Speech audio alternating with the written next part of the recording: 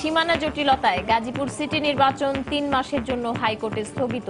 সব কার্যক্রম বন্ধে রিটার্নিং কর্মকর্তাকে ইসির নির্দেশ। এসএসসি ও সমমানের পরীক্ষার ফল প্রকাশ, পাশের হার সাতাত্তর দশমিক সাত সাত শতাংশ। ফাঁস করা প্রশ্নের পেছনে ছুটতে গিয়েই ফল ভালো হয়নি মত শিক্ষাবিদদের ধর্মীয় সম্প্রীতির উদাহরণ হিসেবে বাংলাদেশের কাছ থেকে মিয়ানমারের নেয়ার আছে বললেন প্রধানমন্ত্রী। বৌদ্ধ ধর্মাবলম্বীদের সঙ্গে শুভেচ্ছা বিনিময়। মিয়ানমারের ওপর চাপ বাড়াতে একমত ওআইসি নেতারা। রোহিঙ্গা সংকট সমাধানে মুসলিম দেশগুলোকে ঐক্যবদ্ধ পদক্ষেপ নেওয়ার আহ্বান। বেগম জিয়ার মুক্তি ও সুচিকিৎসার দাবিতে কাল সারা দেশে সমাবেশের ঘোষণা বিএনপির।